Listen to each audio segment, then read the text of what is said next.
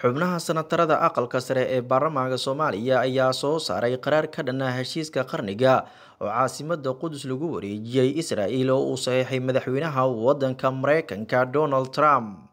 Aqalka sare ayaa cod u qaaday mooshinka ka dhanka ah heshiiska qarniga oo duulaan ku ah islaamka iyo madax banaanida falastiin waxaana cod gacantaaga ku ansixiyey dhammaan mudanayaashii fadhiyey kulanka senatar ayuub oo ka tirsan xubnaha sanatarada aqalka sare ayaa xubnaha golaha aqalka sare ka hor aqriyey qaraarkani ay soo saareen iyagoona sheegay inay ka xun yihiin duulaanka qaawan. Madaxweynaha mareykanka uu ku hayo shacabka reer falastiin.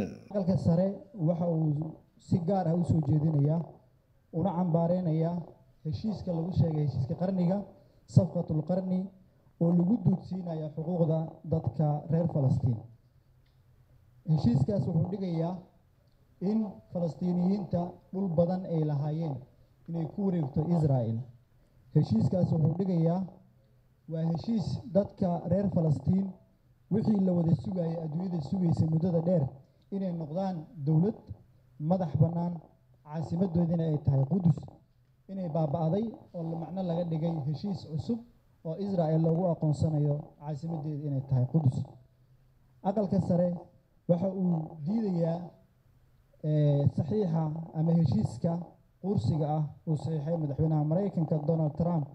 Oo dhigaya in israel ay ku helaan dhul badan aysan xuquuq lahayn.